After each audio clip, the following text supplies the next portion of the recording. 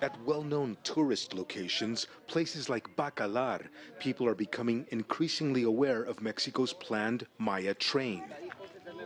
It's a key infrastructure project of President Andres Manuel Lopez Obrador, who promises the Maya train will be ready before he leaves office in January 2024. Aún superando varios obstáculos. Although it requires overcoming various obstacles, we will complete our promise and the Maya train will be inaugurated in December 2023. We are also upgrading existing tracks for cargo and passenger trains. Parts of the route will be electrified and trains will run on diesel along other stretches of the 1500 kilometer route. We've come to one of the lesser known towns the train is slated to traverse. It's called Felipe Carrillo Puerto, named after a 19th century socialist politician. 175 years ago, this town was the site of a major Maya uprising.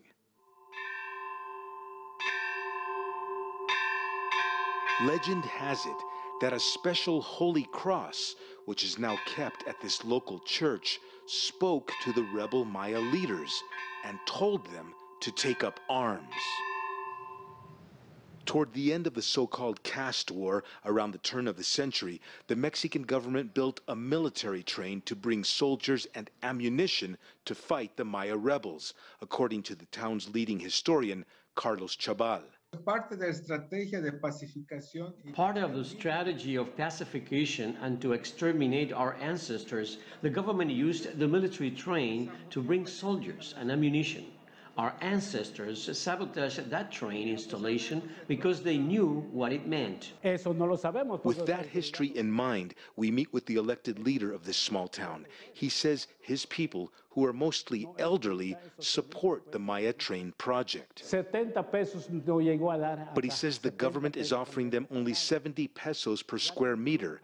Nearby in Tulum, the government is paying 400 to 500 pesos, he says. In Bacalar, it's nearly 300 pesos per square meter. Our team continues along the route of the Maya train. We are heading west into the thick jungles of Mexico's Calakmul bioreserve. In the town of Expujil, a meeting of local Maya agriculture leaders is underway. They say their communities lack running water, schools, and proper health clinics. This Maya leader, Bartolo Lopez, explains that he and his people mostly do not support the Maya train project. He says, We are indigenous people and indigenous communities, and I believe we will never receive a benefit from the development of this train. We walk into one more archaeological site near the town of Expujil in Campeche state and pass through lovely natural areas. It's a weekday and the place is virtually empty. We're here almost completely alone in this silent and amazingly historic place. And there are those who wonder, will all of that change when the train Maya finally comes through this region? And is that a good thing? Franc Contreras, CGTN in the Calakmul Bioreserve, Mexico.